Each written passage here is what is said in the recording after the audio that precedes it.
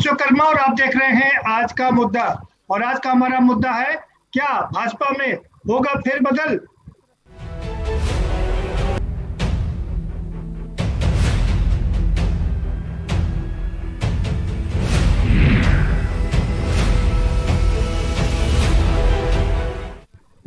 जी हाँ। जिस तरह की खबरें आ रही हैं, भारतीय जनता पार्टी के शीर्ष नेतृत्व ने मीटिंग की, बहुत ही हाई लेवल की मीटिंग की। जिसमें स्वयं प्रधानमंत्री से लेकर के गृह मंत्री अमित शाह और उत्तर प्रदेश के संगठन मंत्री सुनील बंसल राष्ट्रीय अध्यक्ष जेपी नड्डा समेत सभी तमाम और आरएसएस के दत्तात्रेय होसबोले ने शिरकत की।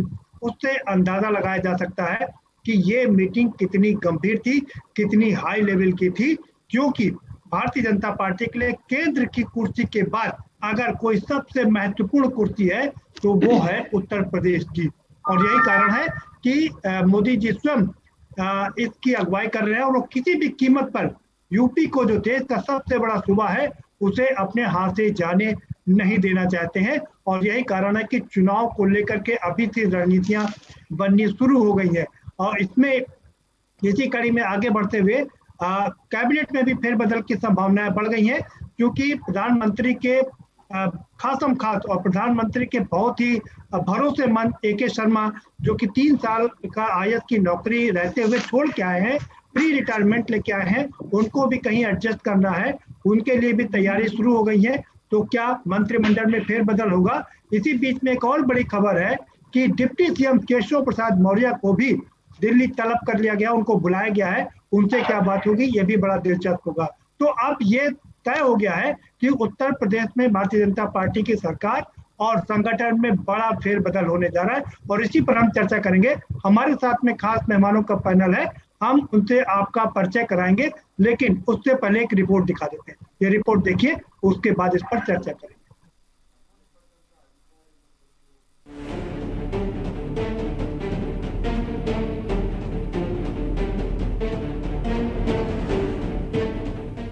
यूपी विधानसभा चुनाव 2022 के लिए भाजपा ने तैयारियाँ शुरू कर दी पहले चरण में ऐसी सीटों पर कब्जा जमाने की रणनीति है जहाँ उससे अब तक जीत नहीं मिल पाई करीब 80 विधानसभा क्षेत्र ऐसे हैं जहाँ तमाम कोशिशों के बाद भी भाजपा लोकसभा चुनाव 2014, विधानसभा चुनाव 2017 और लोकसभा चुनाव 2019 में जीत हासिल नहीं कर सकी है। वहीं बीजेपी के प्रदेश अध्यक्ष स्वतंत्र देव सिंह ने बीते दिनों कहा था कि मोदी योगी सरकार की योजनाओं के दम पर भाजपा 2022 में फिर प्रचंड बहुमत के साथ सत्ता में आएगी।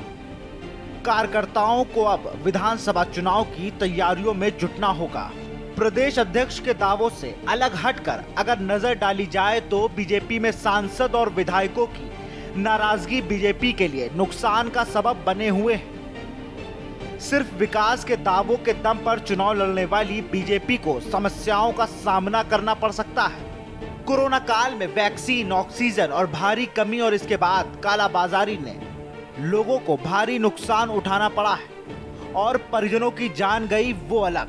कोरोना काल में सांसदों और विधायकों की नाराज़गी बीजेपी के लिए घातक साबित हो सकती है। इसके अलावा नाराज़ मंत्रियों और सांसदों ने जिस प्रकार सीएम को पत्र लिखकर खुद की सरकार में अव्यवस्थाओं का हवाला दिया था, उससे साफ़ ज़ाहिर है कि बीजेपी के ही सांसद और विधायकों में भारी नाराज़गी और उनकी अनसुनी का खामियाजा बीजेपी उठा सकती है। स्पेशल डेस्क के न्यूज़ इंडिया।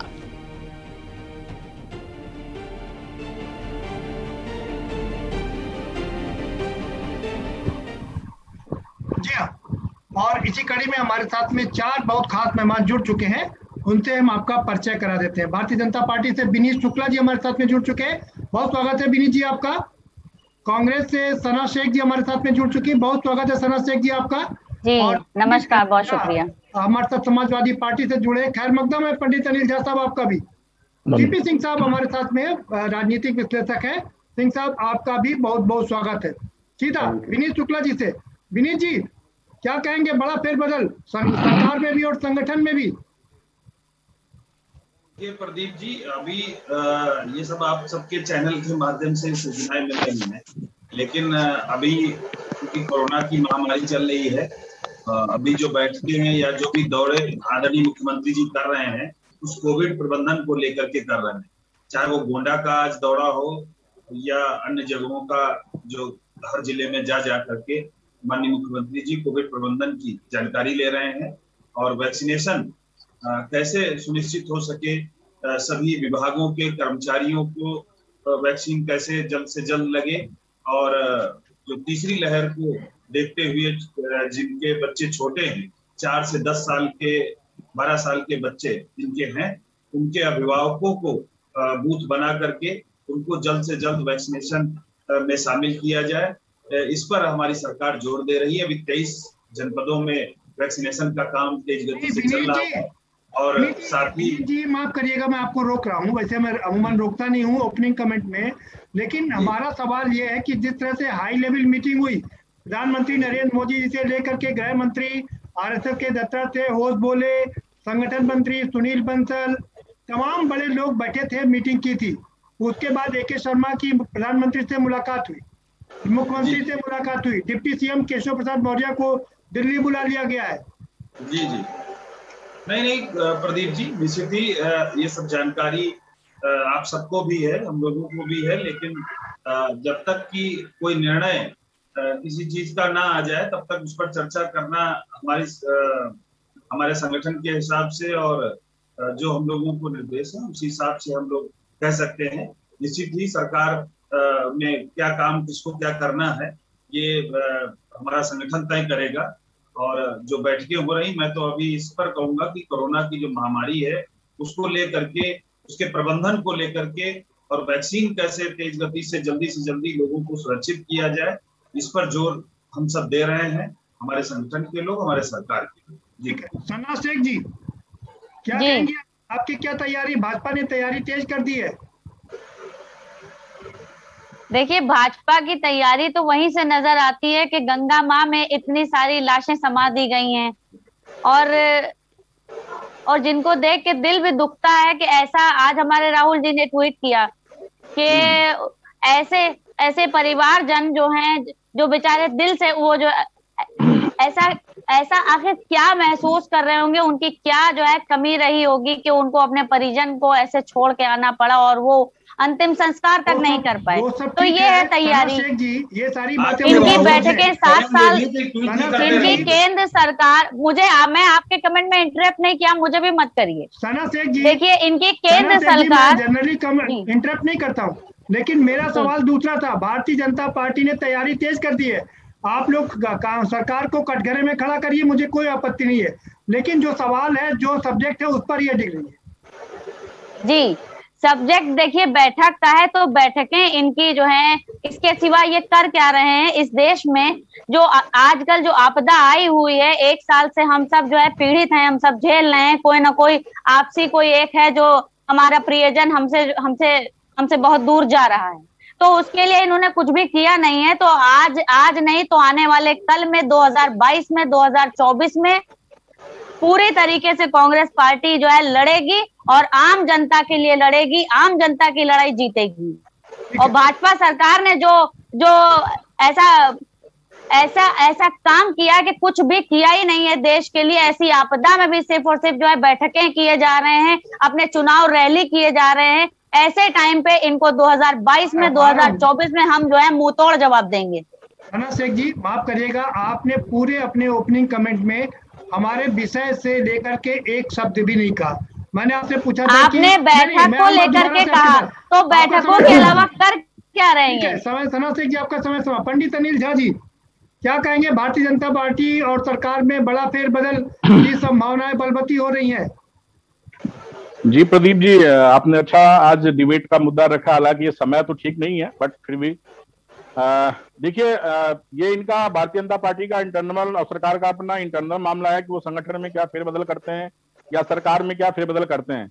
लेकिन मैं एक इसको शुरुआत करूँगा एक शेर को लेके एक गाना था हमारे यहाँ की बहुत देर से दर पे आँखें लगी थी हुजूर आते आते बहुत देर कर दी। जी। तो तो अब जो है प्रदीप जी ये बहुत देर हो चुकी है। अब ये सरकार में फेरबदल कर लें संगठन में फेरबदल कर लें मैंने पहले ही कहा, इनका व्यक्तिगत मामला है, पार्टी का, मुझे उस पर कुछ टिप्पणी नहीं करना है। लेकिन अब चीज़ें हाथ से निकल गई है। कहा बरसात जब किसी सुखानी, ऐसी बारिश का क्या करेंगे? ऐसी सरकार का, बदले हुए सरकार का, बदले हुए संगठन का क्या करेंगे जब यहाँ त्राही त्राही माम मचा हुआ है? तो और रही बात, चुनावी मोड की आपने बात करी कि चुनावी इन्होंने शुरू कर दिया है अपना। तो देखिए, ये दे, ये समय चुनाव से संबंधित चीज़ों पे बात करने का नहीं है। और भारतीय जनता पार्टी की तो डीएनए है कि वो तीन सौ पैंसठ दिन चुनावी मोड में रहते हैं।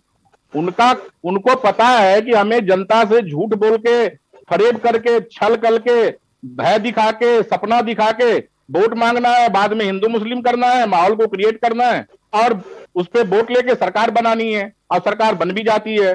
तो मैं इस पे बहुत ज़्यादा कुछ टिप्पणी नहीं करूँगा। मैं तो सिर्फ़ इतना ही हाथ जोड़ के विनम्र निवेदन है हमारे योगी जी से कि वो वैक्सीन पे ध्यान दें।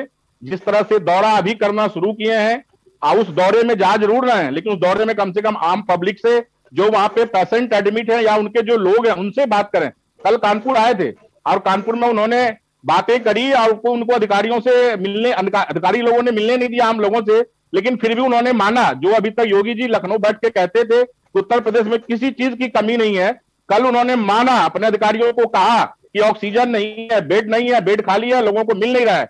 तो कम से कम दौरा कर रहे हैं तो अधिकारियों से ना मिले। वो मिले आम पब्लिक से, आम लोगों से। वो विपक्षी दल से मिले अच्छा आइडिया देंगे अच्छा इनपुट देंगे। हम लोगों से बात करें, हम लोग अच्छा बताएँगे क्या कमियाँ हैं। और उसको दुरुस्त करें। तो देखिए, सरकार है, भारतीय जनता पार्टी की है, तमाम संगठन लोग संघ तय करता है। सबकी मीटिंग हुई है, आप लोगों के माध्यम से हम लोग भी बैठे हुए हैं। अब हो सकता है कि केशव प्रसाद मौर्य को तलब किया गया है, उनको हटाया जाएगा। शर्मा जी बैठेंगे, शर्मा जी ऑलरेडी हैं एक। तो कास्ट पॉलिटिक्स चलेगी। जातीय बांधा जाएगा ब्राह्मण उत्तर प्रदेश का नाराज़ है आज दो साल से ढाई साल से तो हो सकता है दो दो ब्राह्मण मुख्यमंत्री डिप्टी सीएम हो जाए या हो सकता है शर्मा जी का भी विकेट गिरे। अब ये क्या होगा है तो भविष्य की गर्त में है आप लोगों से हम लोग समझेंगे बट मैं इस पर अभी कोई टिप्पणी हो गई बात आपकी जी।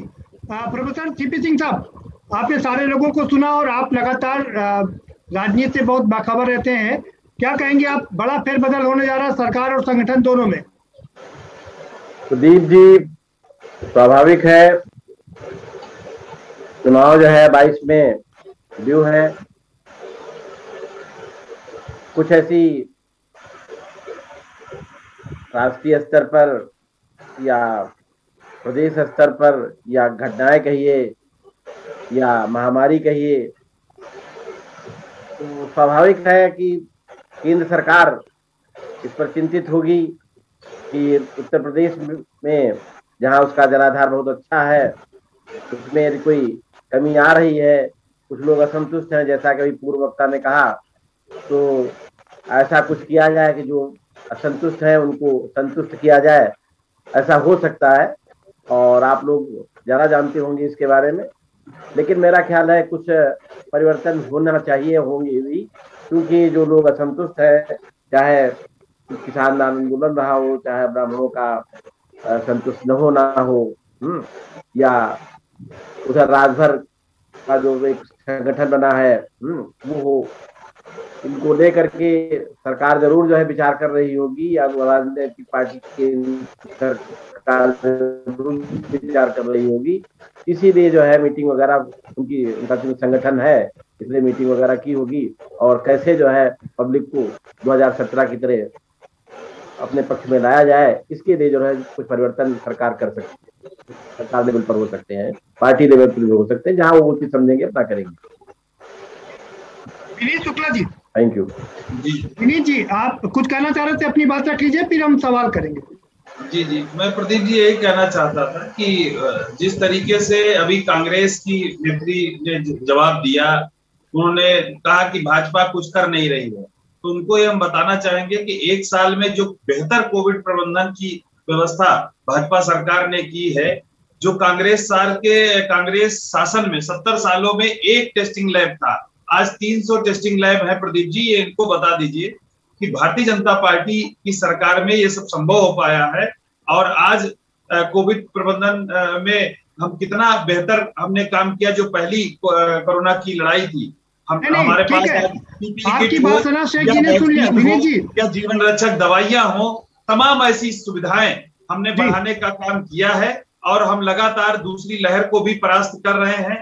तीसरी लहर की जो संभावना चल रही है उसको देखते हुए भी बच्चों को कैसे सुरक्षित किया जाए उनके अभिभावकों को कैसे सुरक्षित किया जाए जी, इन सभी पहलुओं पर लगातार ध्यान दिया जा रहा है। जी, दूसरी बात पार्टी के। ठीक है विनीत जी आप बहुत सारा काम किया है। योगी जी 24-24 घंटे काम कर रहे हैं। कोरोना पॉजिटिव होने के बावजूद लगातार काम कर रहे हैं। वर्चुअल मीटिंग भी किया फ़ील्ड में भी जा रहे हैं। इसमें कोई शक नहीं है। ईमानदार सभी के नेता हैं बहुत बढ़िया है। सवाल सबसे बड़ा ये है जब सब कुछ ठीक है तो आप फेर बदल क्यों? देखिए ये अ, हमारे संगठन का निर्णय है और सरकार में किसको शामिल करना है किसको नहीं शामिल करना है किसको कौन आकलन होता है काम के आधार पर कौन बेहतर काम कर रहा है कौन नहीं कर रहा है ये हमारा संगठन तय करेगा। और सरकार के लोग माननीय प्रधानमंत्री जी और राष्ट्रीय अध्यक्ष जी सभी लोग बैठ करके बिल्कुल ठीक बात है सारे लोग बैठ करके तय करेंगे। विनीत जी केशव प्रसाद मौर्य को दिल्ली बुलाया गया है। क्या मायने हैं इसके? क्या केंद्र में उनको स्टेब्लिश किया जाएगा? नहीं देखिए अभी उप मुख्यमंत्री हैं अब उनको किस लिए बुलाया गया है? क्योंकि माननीय मुख्यमंत्री जी यहाँ के उत्तर प्रदेश के दौरे पर हैं तो हमारे सीनियर नेता है पूर्व प्रदेश अध्यक्ष भी रहे हैं और आज मुख्यमंत्री भी हैं तो इसलिए उनको बुलाया गया है और बैठकों का दौर है। अब चर्चा उत्तर प्रदेश को लेकर के निश्चित ही हो रही है क्योंकि तमाम चीज़ें हैं जो हमारे संगठनात्मक क्या फिर बदल अभी सारी चीज़ें टीम जो बन चुकी हैं उसमें आगे क्या काम करना है तो चाहे वो हमारे संगठन के लोग हों या सरकार के लोग। सभी लोग इसी पर बैठ करके चर्चा कर रहे हैं। ठीक है। लेकिन जी समाजवादी पार्टी की बात जैसे अभी दूसरा पहले कुछ सवाल ले लीजिए। आपको। पूरा मौका दूँगा सपा से भी बात करने का और कांग्रेस को भी जवाब देने का। सवाल नंबर दो ए के शर्मा जी की को कहाँ एडजस्टमेंट किया जाएगा? डिप्टी डिप्टी सीएम के लिए बहुत दिन से बात की जा रही है। देखिए ये चर्चाएँ तो बहुत पहले जैसे ही वो वहाँ से आए थे तभी से लोग चर्चा कर रहे थे कि डिप्टी सीएम बनेंगे ये गृह विभाग और वो बंगला मिल जा रहा है तो तमाम चर्चाएँ चली चैनलों पर और वो हवा हवाई हो गई और जो भी था उनको एमएलसी बनाना था एमएलसी बने क्योंकि यही मूल निवासी यही उत्तर प्रदेश के वो हैं रिटायर्ड हैं नहीं है तो- प्री रिटायरमेंट लिया है उन्होंने। जी जी प्री रिटायरमेंट उनको मिला है और वो वो यहाँ पर आए क्योंकि यहाँ के मूल निवासी हैं उत्तर प्रदेश के इसलिए उनको एमएलसी बनाया गया तेज तर्रार अधिकारी रहे हैं। निश्चित ही उनका उपयोग जहाँ पर संगठन समझेगा वहाँ पर उनका उपयोग किया जाएगा मंत्री बनाना है या उप मुख्यमंत्री बनाना है या क्या विभाग देना है, ये संगठन तय करेगा। निश्चित ही वो अधिकारी रहे हैं इसलिए उनसे क्या काम लेना है सरकार तय ठीक है विनीत जी सवाल ये है जैसे कर्नाटक में चार उप मुख्यमंत्री थे बनाए गए क्या उत्तर प्रदेश में भी चार उप मुख्यमंत्री बनाए जाएँगे? दलित नाराज़ है और बैकवर्ड का तो एक डिप्टी सीएम ही है और क्या यहाँ भी चार मुख्यमंत्री होंगे उप मुख्यमंत्री होंगे? देखिए, आपके सवाल में ही विरोधाभास है कि दलित नाराज़ है, ये कहना गलत होगा। कोई भी वर्ग 24 करोड़ जनता के मुख्यमंत्री आदरणीय योगी आदित्यनाथ जी हैं। उन्होंने बेहतर काम किया है बिना भेदभाव के निचले स्तर तक गरीब कल्याण योजनाओं को पहुँचाने का काम किया है। अभी 15 करोड़ घरों तक, गरीब गरीब जो अंत्योदय का हमारा लक्ष्य है, उसके अनुसार हम वहाँ राशन पहुँचाने का काम तीन महीने तक कर रहे हैं, मुफ़्त में। वैक्सीनेशन का काम मुफ़्त ठीक है बहुत काम किया विनीत जी तो आप ये लोगों ने ये इसमें कहना बहुत- कि दलित को नहीं दिया दलित बहुत काम किया, इसमें कोई शक नहीं है। अगला नाराज़ है। पिछड़ा नाराज़ नाराज़ कोई नहीं अपराधी ज़रूर नाराज़ है गुंडे माफिया नाराज़ हो सकते हैं क्योंकि जी। उन पे सख्ती की जा रही है जो। कलाबाजारी करते हैं जो ब्लैक मार्केटिंग करते हैं सपा के लोग या। अन्य दलों के लोग जब भी पकड़े जाते हैं एक सौ सड़सठ लोग पकड़े गए जी एक आखिरी सवाल है आपसे ब्रेक पर जाना पड़ेगा। उसमें ज़्यादातर लोग इन्हीं। सभी पार्टियों के हैं जो लोग कहते हैं आखिरी सवाल है ब्रेक पर जाना पड़ेगा जनता बाकी लोगों के पास भी जाएँगे। आऊँगा अनिल झा जी आपके पास आऊँगा। कैबिनेट में ये भी बात चल रही है विनीत जी ये भी बात चल रही है सात मंत्रियों से मुख्यमंत्री नाराज़ है। उनको हटाए जाने की चर्चा चल रही है और चार मंत्री पद पहले से ही खाली हो गए हैं। तो एक बड़ा फेरबदल देखने को मिल सकता है, क्योंकि मात्र सात महीने ही बचे चुनाव को। देखिए जो भी पद खाली हैं या जो लोग जिन लोगों का काम आकलन करके हमारा संगठन तय कर रहा है, कि, कि- किसने बेहतर काम किया, किसने बेहतर प्रदर्शन किया है, सभी लोग अपने हिसाब से सभी ने काम किया है। अब हमें लगता है कि हमको इनकी उपयोगिता संगठन में है तो हम उनको संगठन में वापस लेंगे और या मंत्री जिनको बनाना है मैंने आपसे पहले भी कहा है कि हम अकेले डिसाइड करने वाले नहीं आए ना ही हम बात। ये बता सकते हैं। हमारा शीर्ष जो नेतृत्व है हमारे राष्ट्रीय अध्यक्ष प्रदेश अध्यक्ष संगठन महामंत्री और तमाम लोग हैं ये लोग आपस में चर्चा करके किसको क्या बनाना है ये करेंगे। और दूसरी बात प्रदीप जी मैं जवाब जो सपा के मित्र हमारे कह रहे थे वैक्सीनेशन की बात इनके राष्ट्रीय अध्यक्ष ने जिस तरीके से गुमराह किया है जो बयान दिया है वो सर्वनाक है। इन सबको सार्वजनिक रूप से माफ़ी मांगनी चाहिए। इसके बाद ये जी इस पर कई बार बात हो चुकी है। इस पर कई बार बात हो चुकी है कि अखिलेश जी को माफ़ी मांगनी चाहिए। आएँगे वापस आपके पास में। अनिल झा भी बार बार उंगली उठा रहे हैं। आपके पास आएँगे अनिल जी लेकिन एक ब्रेक के बाद एक छोटा सा ब्रेक लेंगे।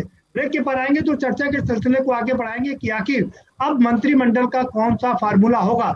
क्या चार उप मुख्यमंत्री होंगे कर्नाटक की तरह? या अब कम किए जाएँगे? केशव जी को क्या दिल्ली में सेटल किया जाएगा? ये सारी चर्चाएँ हैं जो अभी चल रही हैं। क्या सात मंत्रियों से जो नाराज़गी है, उनको संगठन में वापस लाया जाएगा? जैसे पहले एक बार मंत्रिमंडल के फेरबदल में किया गया क्या होगा? इस पर चर्चा जारी रखेंगे, लेकिन एक छोटे से ब्रेक के बाद।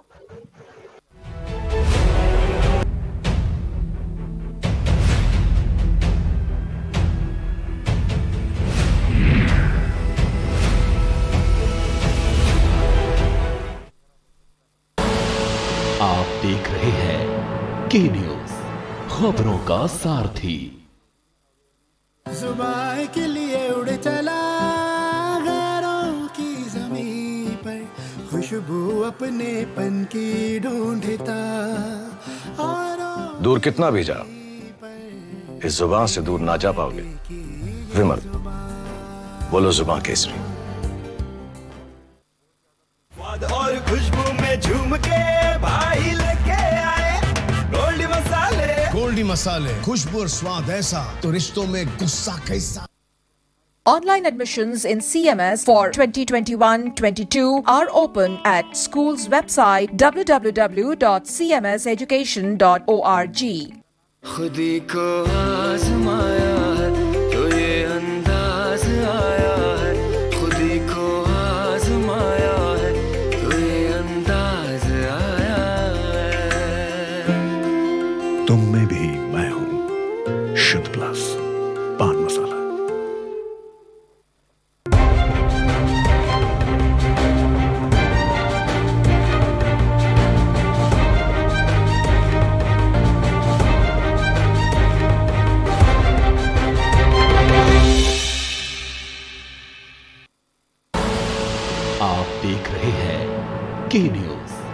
खबरों का सारथी।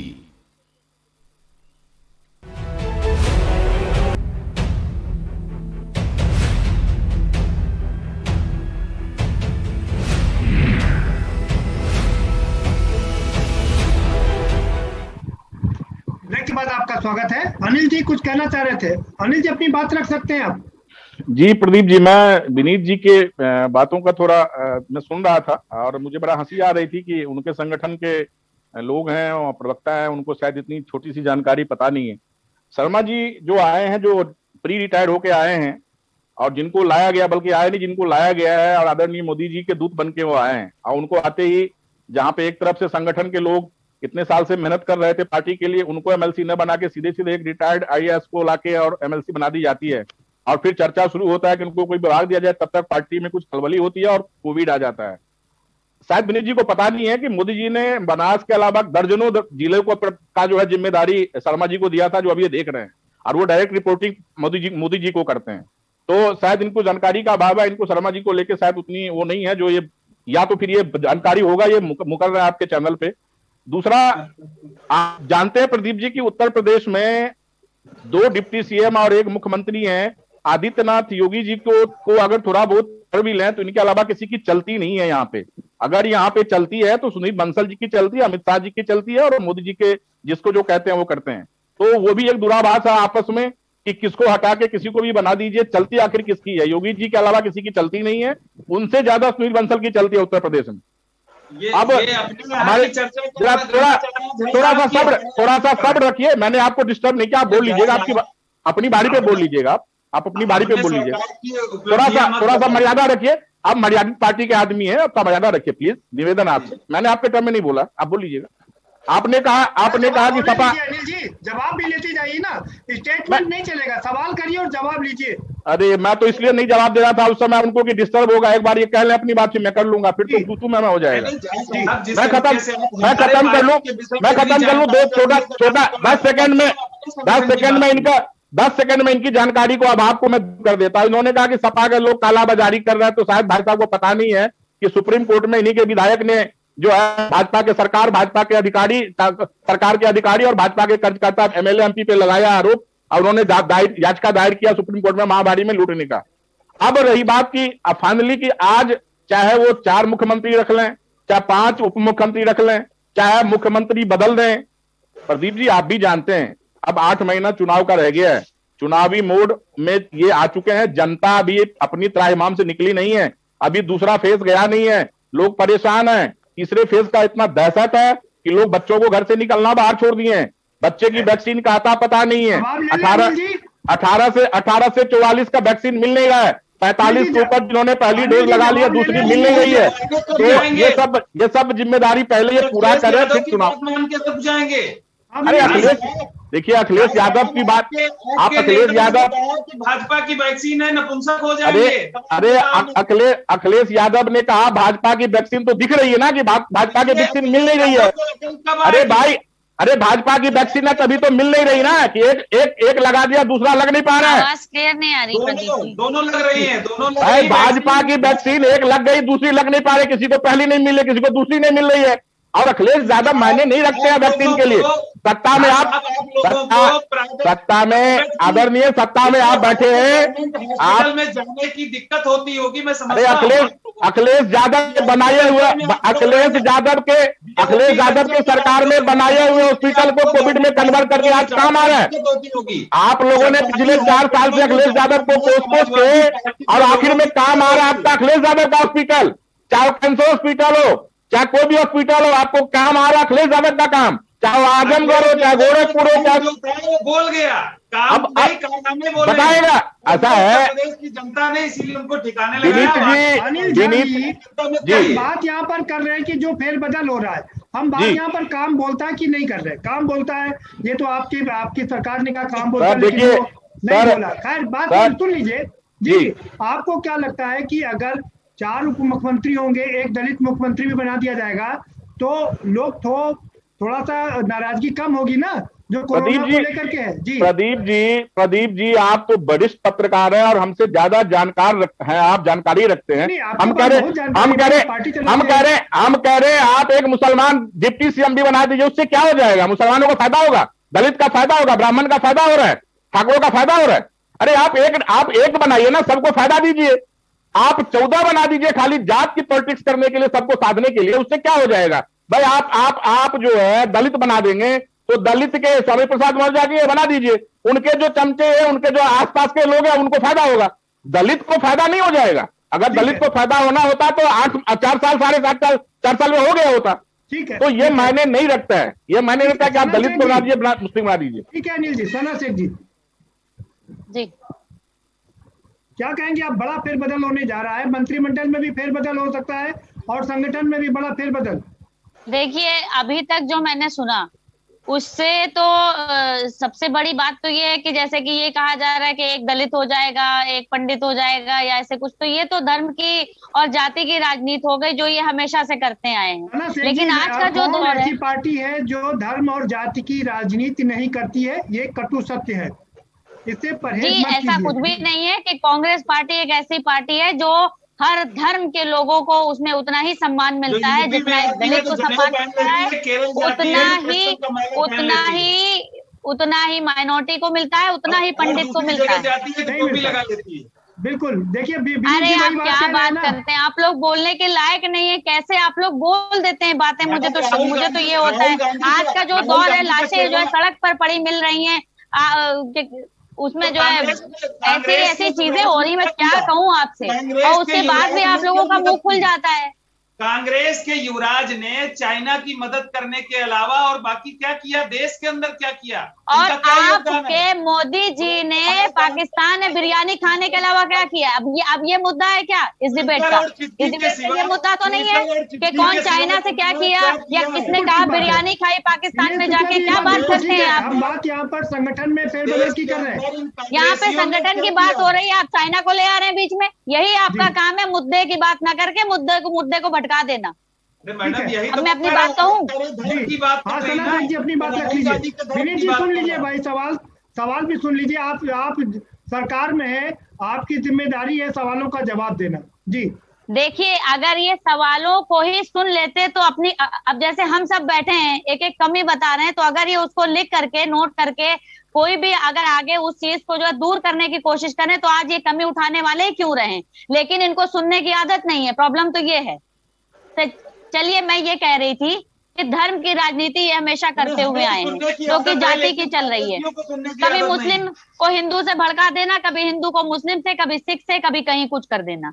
और किसी के पक्ष में कभी खड़े नहीं होते चाहे वो किसान हो चाहे वो महिलाओं हो इनके राज में सबसे ज़्यादा बलात्कार बढ़े हैं। इनके ही राज में क्या से क्या हुआ। अच्छा, लेकिन मैं ये कहना चाहती हूँ एक मिनट। जिस तरीके से ये। बढ़ावा दे जिस तरीके से फेरबदल कर रहे हैं उससे आज सुन लीजिए एक लाइन और रह गई है एक लाइन से जिस तरीके देखिए जिस तरीके से ये? फेरबदल कर रहे हैं उससे आज का जो कोरोना की महामारी का दौर है उससे जनता बहुत त्रस्त हो चुकी है बहुत दुखी है बहुत परेशान है हर तरीके से खाने खाने को जो है परेशान है। तो आज ये कुछ भी कर ले धर्म की राजनीति कर ले या कुछ भी कर लें अब इनके हाथ कुछ आने वाला नहीं है। इनका सफाया होके रहेगा। जी सना शेख जी मेरा एक सवाल आपसे है। आपने कहा कि ये सरकार किसी के लिए काम नहीं कर रही है। तो सरकार आखिर कर क्या रही है? देखिए सरकार सिर्फ़ और सिर्फ़ उतना काम कर रही है जितने में भ्रष्टाचार करके इनके मंत्री इनके विधायक आराम से जी सके। सिर्फ़ उतना ही काम किया जा रहा है कि नाम हो रहा है पेपरों पे कि सड़क बन रही है सड़क पे कितने गुड्डे जो है गड्ढे हैं उनका कोई ठिकाना नहीं है। गड्ढा मुक्त बोला था कि सड़कें होंगी। जो है योगी जी ने। अब आप देख लीजिए उत्तर प्रदेश में क्या हाल है? उत्तर प्रदेश में क्या हाल है? महिला सुरक्षा की बात की थी। इनके। एमपी इनके विधायक बलात्कार करते फिरते हैं। उसके बाद भी इन लोगों का मुँह खुल जाता है बोलने के लिए। ठीक है सना शेख जी बात हो गई आपकी। सिंह साहब आपके बता रहा हूँ सीपी सिंह साहब। अब ये जो मॉडल की बात चल रही है कि कर्नाटक में चार उप मुख्यमंत्री बनाए गए। क्या यहाँ पर चार उप मुख्यमंत्री बनाने से कोई फ़ायदा दिख रहा है आपको? अभी आठ महीने बाकी है सरकार के। बहुत ज़्यादा फ़ायदे तो नहीं हो सकते हैं लेकिन कुछ फ़ायदा तो स्वाभाविक जब कोई अपनी आ, कास्ट का बनता है देश देखिए कहने की बातें बड़ी बड़ी हैं लेकिन हमारे यहाँ जो चुनाव होते हैं सभी राजनीतिक दल चाहे जो भी पार्टी हो सभी उसका जाति के नाम से ही चाहे टिकट देने में हो चाहे हर जगह हो उसका उपयोग करते हैं। तो यदि बनाया जाता है ऐसा कुछ किया जाता है तो स्वाभाविक है इसी तरह से दिया जाएगा किया जाएगा कि कुछ उसको फ़ायदा मिले। तो स्वाभाविक कुछ न कुछ फ़ायदा ज़रूर मिलेगा यदि ऐसा करते हैं। एक चीज़ जी एक चीज़ और समझना चाहेंगे आपसे जब समाजवादी पार्टी की सरकार थी तो विपक्षी भारतीय जनता पार्टी कहती थी कि साढ़े तीन मुख्यमंत्री की सरकार है। जिस तरह से ए के शर्मा की एंट्री हुई है उनको महत्व मिल रहा है। आपको नहीं लगता कि यहाँ पर अब बंसल जी भी बहुत महत्वपूर्ण है? तो आरोप लगेंगे कि तीन तीन तीन तीन मुख्यमंत्री हैं। इतना तो अभी कुछ नहीं कहा जा सकता है। अभी योगी जी आ, मेरा ख्याल उनकी छवि ऐसी है कि बहुत ज़्यादा उसमें दखलंदाजी नहीं होगी। ये जो लोग लाए जा रहे हैं तो बेहतरी के लिए लाए जा रहे होंगे।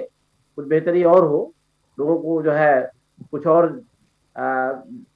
सुविधाएँ मिल सके जानकारी मिल सके सीपी सिंह साहब। सीपी सिंह साहब बेहतरी के लिए मुख्य मायावती जी ने भी यही किया था। अपने तमाम मंत्रियों के टिकट काट दिए थे विधायकों के टिकट काट दिए थे जेल भेज दिया था। लेकिन फ़ायदा नहीं हुआ था। आपको लगता है कि अभी फ़ायदा होगा? कुछ मंत्रियों को हटा करके नए मंत्री बनाने से? देखिए फ़ायदा जिसको भी हटाया जाएगा अंदर से ज़रूर नाराज़ होगा। भले वो पार्टी के साथ कहे कि रहेंगे है ना? लेकिन यह है कि कुछ अंतर पड़ सकता है ज़्यादा अंतर तो उससे नहीं पड़ता है। जी। जनता के मन में जो है वही रहेगा उसमें बहुत ज़्यादा बदलाव नहीं होता है लेकिन कुछ फ़ीसदी कुछ जो है डिफरेंस जो है हो सकता है। सिंह साहब एक, एक और सवाल है। जिस तरह से कोरोना महामारी में बेड को लेकर के, ऑक्सीजन को लेकर के, दवाओं को लेकर के और तमाम चीज़ों को लेकर के लोगों में नाराज़गी है, इस नाराज़गी को दूर करने के लिए भी आरएसएस और बीजेपी सरकार और मिलकर के काम कर रही है। आपको क्या लगता है कि उन्हें क्या करना चाहिए? कैसे दूर होगी ये नाराज़गी लोगों की? देखिए, ये जो कोरोना वाली है, इसमें तो योगी जी ने इधर इतनी मेहनत की है तो काफ़ी डैमेज कंट्रोल तो उन्होंने खुद ही कर दिया है। काफ़ी दौड़ा काफ़ी जो है और सरकार किसी की भी होती जो परिस्थितियाँ हैं ये परिस्थितियाँ अमेरिका जैसा देश जब नहीं दूर कर पाया तो अपने यहाँ तो बहुत आबादी है तो महामारी है। इसमें सभी को बेड दे पाना किसी भी सरकार के लिए संभव नहीं है किसी की भी सरकार हो।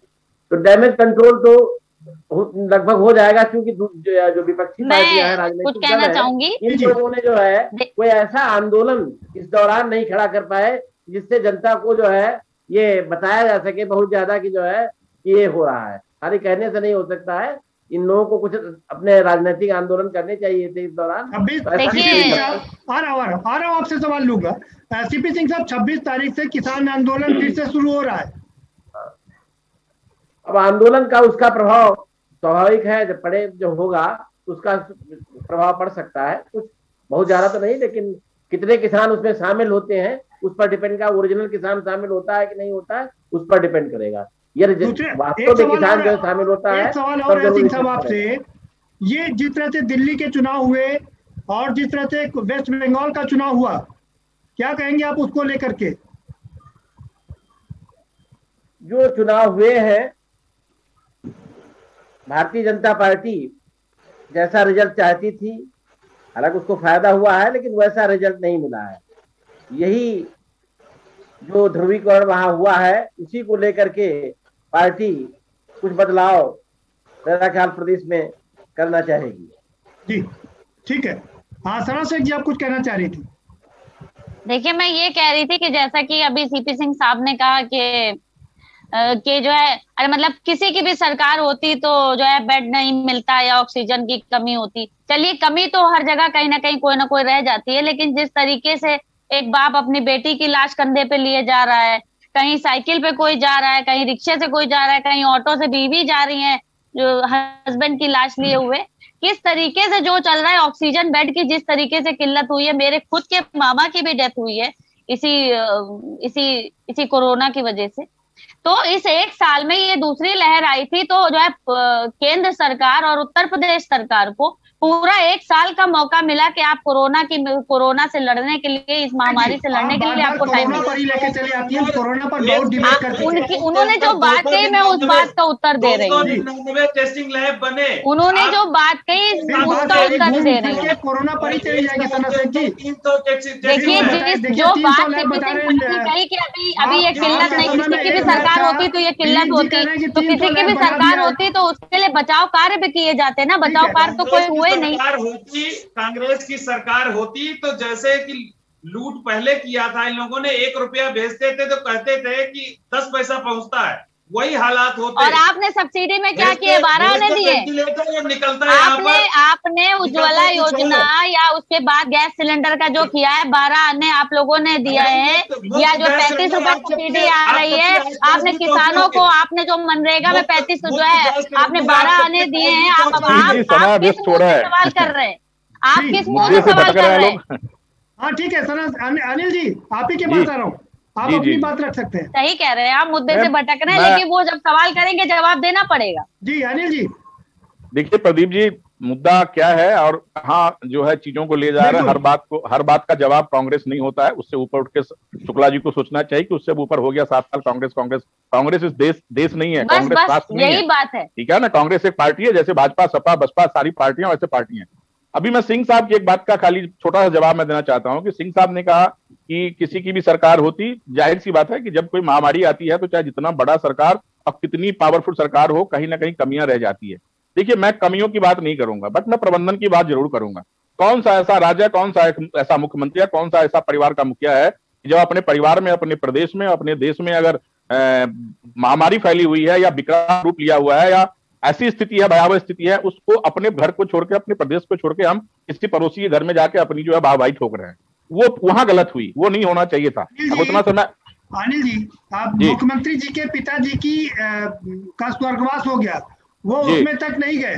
सर आप सर प्रदेश की सेवा में लगे रहे। जी जी मैं जवाब देता हूँ सर मैं जवाब देता हूँ। आपको थोड़ा अगर आपने मुख्यमंत्री के पिताजी की बात की तो थोड़ा सा पीछे चलिए। मुख्यमंत्री आप प्रदीप जी जवाब सुन लीजिए प्रदीप जवाब सुन लीजिए प्लीज़। मुख्यमंत्री जी मुख्यमंत्री जी अब सर प्रदीप जी जवाब सुन लीजिए। मुख्यमंत्री जी जिस मठ के मठाधीश थे या हैं वहाँ पे शपथ दिलाई जाती है कि आपको परिवार यहाँ पे गठा गद्दी पे बैठने से या इसमें आने के के बाद आपको परिवार से कोई मतलब नहीं है। अब हम अपने बाप पिताजी को माताजी को परिवार त्याग चुके हैं अब उसके बाद वो खत्म हो गए क्योंकि हमने कसम ले रखी है हमको जाना नहीं है वहाँ पे तो उसको हमने दे दिया कि हम राष्ट्र भक्त हो गए हम पिता भक्त हो गए। देखिए यही तो है इस पार्टी के अंदर कि वो गलत भी वो गलत भी करती वो गलत भी करती है ना तो उसको कहती है देखो मैंने अब अब मोदी जी आँखों आँसू बहा दिए। पूरा देश रो रहा है।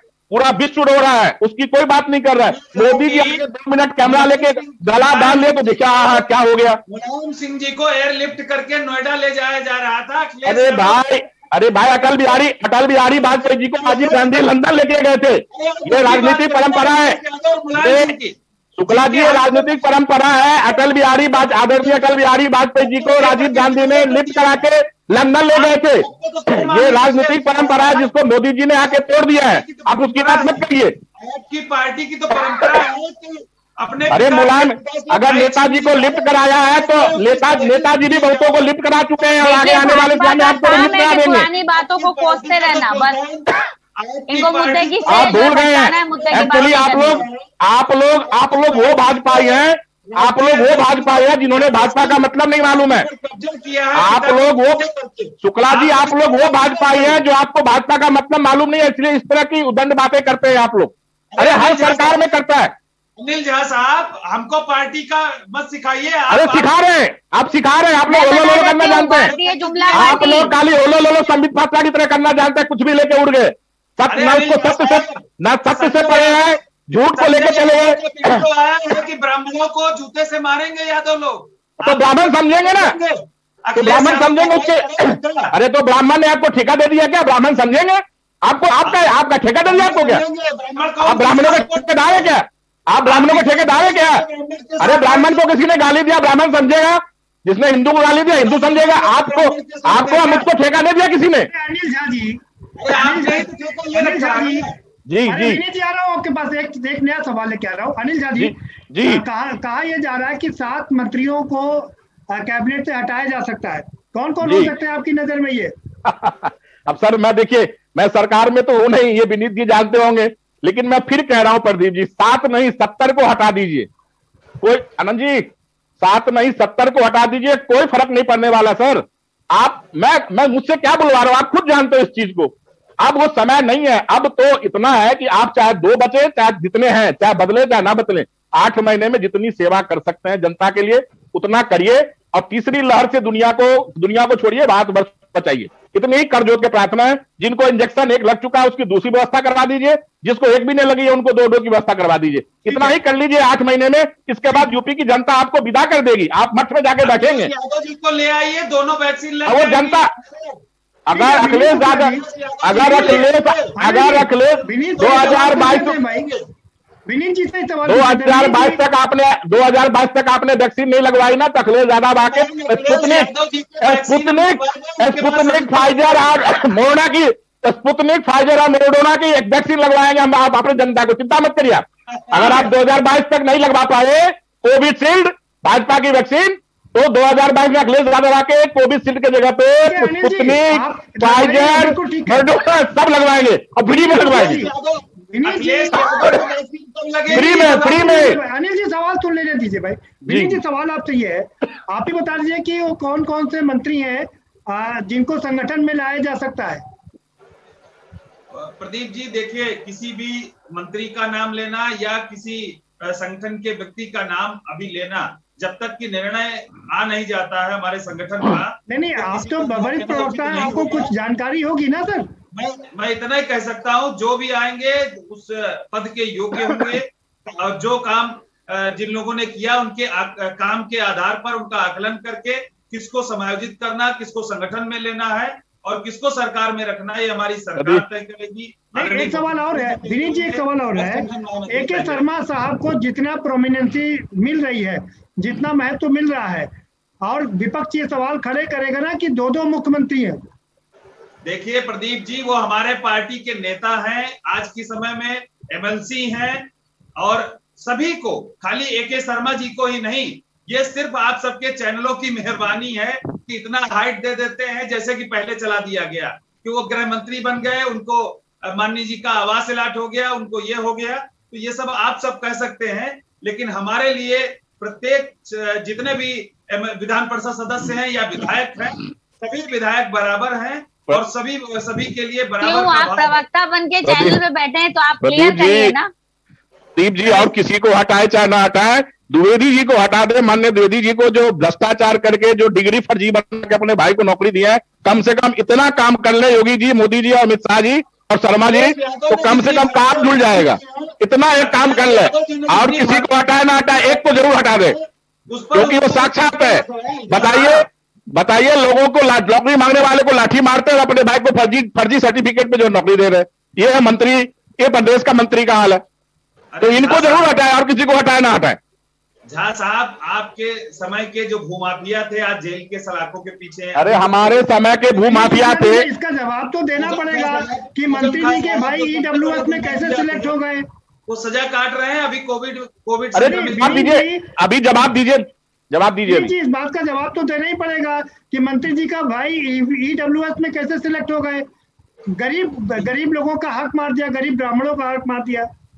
देखिए प्रदीप जी इन्होंने आरोप लगाया। आरोप लगाने के बाद जो भी आरोप है अरे साक्ष्य भैया साक्ष्य सब आरोप नहीं लगा रहा हूँ मैं। सब सबूत है। जहाँ साहब आपने कह दिया कितना झूठ लाओगे? अरे मैं नहीं कह रहा हूँ भाई मीडिया ने सबूत दिया है। अखिलेश यादव मैं नहीं कह रहा हूँ। अखिलेश यादव अखिलेश यादव अरे अखिलेश यादव आप अखिलेश यादव की बात अखिलेश यादव- आपसे जो सवाल पूछा गया आप उसका जवाब दीजिए। मतलब शुक्ला जी। फाइनल कमेंट के लिए चलते हैं। जनता पार्टी की सरकार निष्पक्षता के साथ कोई भी शुक्ला जी तू इधर उधर की ना बात कर ये बता कि कारवा क्यों लुटा इधर उधर की बात मत करिए ये कारवा कैसे लुट रहा है? ये बताइए। समाजवादियों ने किया है जो भ्रष्टाचार किया है जो पाप किया है समाजवादी समाजवादियों के काम अभी जनता को आ रही है कोविड में। मिलने वाली है। उसकी ठीक सजा आपको सिंह साहब आपके बता रहा हूँ। विनीत जी आऊँगा आपके पास। सिंह साहब आप बताइए कि ये जो फेरबदल चल रहे, होने वाला है, जिसके बादल उमड़ घुमड़ रहे हैं, आप क्या लगता है कि इन सबसे कोई फ़ायदा मिलेगा सरकार और संगठन को? आपका फाइनल कमेंट हाँ। प्रदीप जी, ऐसा है कि जो भी परिवर्तन किए जाएँगे, परिवर्तन करने वाले इसी दृष्टि से करते हैं कि कुछ फ़ायदा मिलेगा। फ़ायदा यदि वे प्रभावी लोग हैं यदि उस जनता पर उनका कोई प्रभाव है तो कुछ न कुछ थोड़ा बहुत ज़रूर फ़ायदा मिलता है। बिल्कुल तो फ़ायदा नहीं मिलेगा लेकिन हंड्रेड परसेंट मिल जाए लेकिन कुछ दस पाँच परसेंट दस बीस परसेंट जो है उसका फ़ायदा हर पार्टी को होता है चाहे जहाँ करे चाहे जो पार्टी करे। तो यदि कोई परिवर्तन होता है चाहे इस दल में हो ठीक है। सना शेख जी आपका फाइनल कमेंट देखिए इनको कोई फ़ायदा नहीं मिलेगा इसलिए क्योंकि चाहे महिलाएँ हो चाहे यूथ हो और चाहे दलित हो और चाहे किसान हो। ना ही रोज़गार मिला है और महिलाओं के साथ शोषण बलात्कार बहुत बड़ा है। आज के आ, आपने मुझे मना किया कोरोना का नाम न लेना तो मैं नहीं लूँगी अब। लेकिन जिस तरीके से रोज़गार में और जो है नौकरी में इन्होंने इन्होंने दो लाख नौकरी का वादा किया पंद्रह लाख देने को कहा बल्कि एक चीज़ और एक चीज़ छोटी कहना चाहूँगी ढाई ढाई सौ रुपए मोबाइल के लिए इन्होंने जमा कराए मोदी जी के नाम से। वो उसका आता पता आज तक नहीं है इतना बड़ा जो भ्रष्टाचार मोदी जी के नाम पे किया गया तो जनता हर तरीके से इनसे बदला लेगी और जवाब देगी और किसी भी तरीके से अब ये भाजपा जो जो है भाजपा सरकार रिपीट नहीं होनी चाहे चाहे ब्राह्मण बिठा दें चाहे पंडित बिठा। दें चाहे वर्मा बिठा दें कोई फ़र्क नहीं पड़ता है भाजपा का हर एक इंसान भ्रष्टाचारी चोर है सब प्रदीप जी प्र- प्रदीप जी अब इससे प्रदीप जी अगर आदरणीय योगी जी आठ महीने के अपने आठ महीने के आपके पास फाइनल कमेंट के लिए जी। प्रदीप जी अगर आदरणीय योगी जी अपने आठ महीने के कार्यकाल में उत्तर प्रदेश के सभी जनता को 18 वर्ष से लेके ऊपर सबको दो दो डोज वैक्सीन की व्यवस्था इन आठ महीने में कर दे उनसे उनको फ़ायदा मिलेगा। जो कोविड को तीसरी तीसरी तीसरी लहर की जो चर्चाएँ हो रही है उसका प्रबंधन कर लें अच्छे से ताकि आने वाले समय में जनता को परेशानी ना हो अपना लोगों को सुरक्षित रहे उससे फ़ायदा मिलेगा। आप संगठन में किसको हटा के किसको रख रहे हैं उससे फ़र्क जनता भारतीय जनता पार्टी कार्यकर्ता को नहीं पड़ना है। मैं बता दूँ आपको पब्लिक को तो छोड़ दीजिए किसी भी जाति का भारतीय भारतीय जनता पार्टी के जो कार्यकर्ता है आज कार्यकर्ता उनका परेशान है। मतलब मैं क्या बताऊँ आपको भारतीय जनता पार्टी के जो रूट के कार्यकर्ता है इतना परेशान है सरकार और संगठन से। आपकी। नवनीत जी विनीत जी आपके पास आ रहा हूँ। कैसे दूर करेंगे जनता की नाराज़गी और साथ ही साथ में अपने सांसदों और विधायकों की नाराज़गी भी कैसे दूर करेंगे? देखिए, ना ही हमारे विधायक, ना ही हमारे सांसद कोई नाराज़ हैं। अपने अपने ज़िले की, क्षेत्र की जनता के लिए अगर कोई पत्र लिखता है तो उसको नाराज़गी नहीं कहा जा सकता। सभी अपने क्षेत्र के विकास के लिए, सभी अपने क्षेत्र के कार्य के लिए पत्र लिखते हैं, उसको नाराज़गी के तौर पर नहीं देखना चाहिए। दूसरी बात, जनता के लिए बेहतर और एक ईमानदार मुख्यमंत्री की छवि बेहतर काम करने वाले 20-20 घंटे काम करने वाले आदरणीय मुख्यमंत्री जी ने जो बेहतर काम किया जो सुरक्षा की भावना हम्म। जो और जो स्वास्थ्य की सेवाओं में बेहतर काम सड़क का हो बिजली का हो पानी का हो सभी चीज़ों में बेहतर काम करने वाली योगी सरकार इसीलिए विश्वास जनता करेगी और आप देखिएगा पुनः 2022 में प्रचंड बहुमत के साथ फिर भाजपा सरकार बनेगी। ये लोग सिर्फ़ सपने देखते रहे कितने सीट जीतेंगे सर? कितने सीट जीतेंगे शुक्ला जी? बताएगा तो पैतालीस विधायक तो सैतालीस भी रहने वाले नहीं। अरे आप कितने जीतेंगे अब की चार सौ पार। इसमें तो मुक्त उत्तर प्रदेश अब की बार तो चार सौ पार कहेंगे आपके नेता अब की बार चार सौ पार। शराम आनी चाहिए आप लोगों को। शराम आनी चाहिए आप लोगों को शराम आनी चाहिए शराम आनी चाहिए। की सरकार बनाएगी। 2022 में दोबारा रिपीट करेगी जैसे केंद्र में सरकार रिपीट हुई है। लेकिन विपक्ष का मानना है कि अब वो चाहे कुछ भी कर ले वो सरकार रिपीट होने वाली नहीं है। विपक्ष का हमेशा यही दावा रहा, विपक्ष हमेशा यही दावा करता रहता है। लेकिन सीपी सिंह साहब का कहना है कि जो चीज़ें चल रही हैं, उससे थोड़ा बहुत फ़ायदा ज़रूर हो सकता है। ये फ़ायदा कोलकाता में क्यों नहीं हुआ? ये फ़ायदा दिल्ली में क्यों नहीं हुआ? ये ये भी बहुत ही गौर करने की बात है। ये फ़िलहाल इस कार्यक्रम में इतना ही। आप हमें दीजिए इजाज़त और बाकी खबरों के लिए देखते रहिए के न्यूज़ इंडिया।